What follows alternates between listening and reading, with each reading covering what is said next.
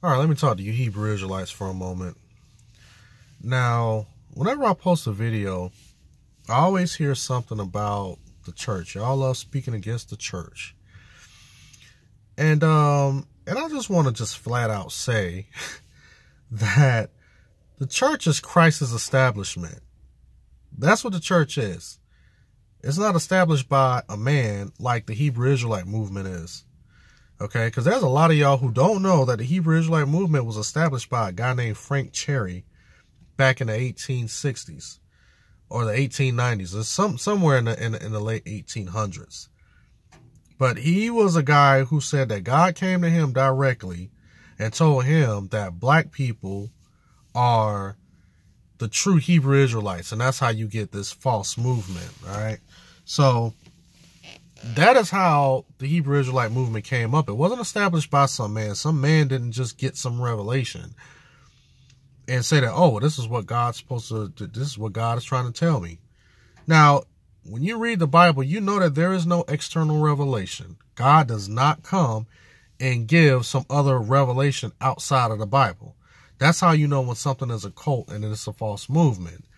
Now that's what the Black Hebrew Israelite movement is, or the Hebrew Israelite movement is. It was established by a man. Now it's just so funny and ironic that guys like uh, Joseph Smith of the Mormons, he had a vision and a revelation around the same time. Charles Taze Russell, the Jehovah's Witness, had a revelation at the same time.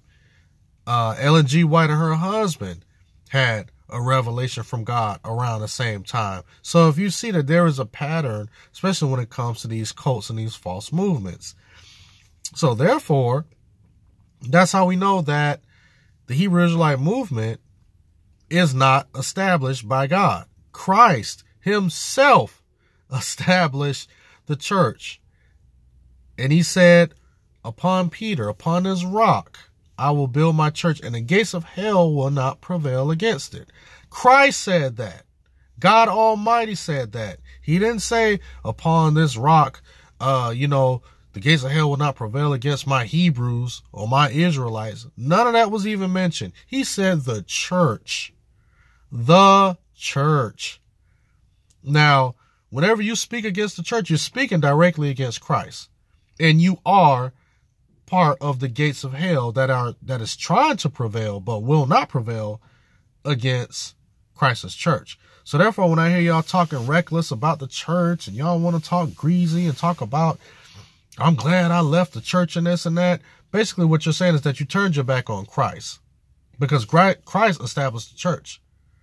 It wasn't, he didn't establish the Hebrew Israelite movement. Frank Cherry did that. So you turn your back on Christ and you follow the teachings of some man and you follow man. It's the same thing that happened in the garden, in the Garden of Eden, beginning of time. You know, you got God tell Adam and Eve one thing, hey, don't eat from that tree. And the serpent comes along, which is the devil, and says, hey, how come you won't eat from that tree? Well, God told us not to do it. Well, did God really say that? Did, did God really say that? God, what, what God meant was that don't eat from it, so therefore you don't gain the knowledge and you, if you eat from the tree, you'll become just like him, knowing all good and evil. And then what the man doing the selfishness ate from the tree because he wanted to be like God. And that's the same thing that you Hebrew Israelites are doing. You want to be in the place of God. You want to be able to control your own life and your own destiny, and you be, want to be able to push God to the side and conjure up your own doctrine and make people believe in it. So this is what Hebrew Israelites do. They love to take from our scriptures that's been given to us by Christ and try to use it to speak against Christ. And I know a lot of you say, no, no, no, we, we believe in Christ. No, no, you don't. You don't believe in Christ. Not speaking against this church. Because there's no way you read the Bible, especially the Old Testament, even the writings and the teachings of Christ, and you hear and you just continue to just fall away from that and then follow the teachings of Frank Cherry and some man-made movement. You know? And another thing you guys got to look out for when it comes to these black Hebrew Israelites is that they love to do a bait and switch. So they'll say, oh, well, you know, we left all of the junk and the trash and the mess that's going on in the church. That's why we left. Duh, we, I mean, we, we know what's going on in the church, in the body of Christ. We know that people who go out and do all of these crazy things like Joel Osteen and T.D. Jakes and, and Benny Hinn and all of that. I got videos rebuking all of that stuff. So we're aware of what's going on when you got these people who call themselves a part of the church. These imposters, we know what they're doing. So that's why we rebuke it. And that's why we go back to the Bible. But that don't give you an excuse to turn your back on Christ because you see something that man is doing. So basically, your whole theology is man centered. You're not putting your faith and trust in Christ and his completed work. What you're saying is that, well, despite what the Lord says about the gates of hell not prevailing against his church, I'm going to ignore that and then I'm going to go and follow after some man who said that God told him to do something 1800 years after his death.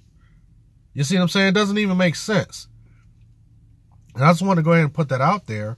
Um, you know, and, if you guys think I'm lying, go look up Frank Cherry for yourself. Frank Cherry started the Hebrew Israelite movement because before the 1800s, no one had ever heard of no Hebrew Israelite. No one even said anything about somebody being black is is a is a Hebrew. That's this is new stuff.